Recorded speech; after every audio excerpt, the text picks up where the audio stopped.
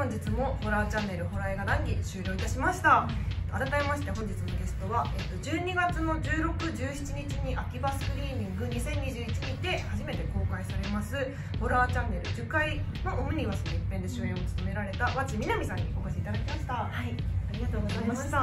50分間ちょっとね監督交えていろいろ話してみましたけどいかがでした？でもやっぱり次回初め怖かったんですけど、ん。撮影現場でちょっと、あの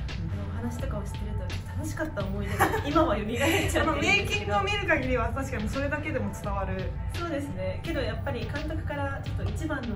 断末魔だったよって。めちゃくちゃ喜んでるじゃないですか。めっちゃ嬉しくてめちゃくちゃ喜んでる。どのぐらい怖い映像になってるのかすごく楽しみなので、いや本当ねグラビアの映像しっかりその断末魔しっかりファンの方ベントチケットあのキバスクリーニングのチケットも発売中ということですのでで舞台挨拶もねはい。いらっしゃってくださるということですのでファンの方はぜひチケットの方チェックしていただければというふうに思います。それでは本日はありがとうございました。ありがとうございました